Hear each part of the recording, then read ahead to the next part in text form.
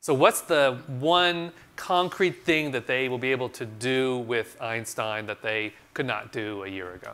Well, it's going to give them, and I, am using it myself, right.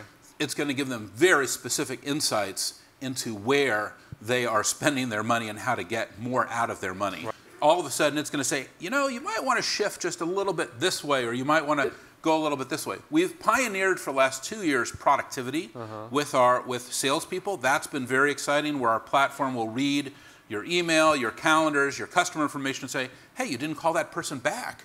Hey, you didn't follow up on that email." Or, "Hey, you're forecasting this opportunity at 80%, but right. the customer just said that they've delayed their budget." And now, would you say would, would Einstein be able to say, "Hey"?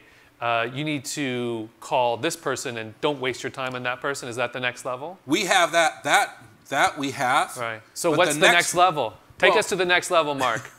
the next level is something where, uh, and we're using this internally, and we're getting ready to roll it out to our customers, where you are able, we're able to look at your your actual information, what has actually already happened, mm-hmm. and say, let me tell you that if you don't close this month with this revenue number, you're not going to hit your revenue guidance for the year. Wow.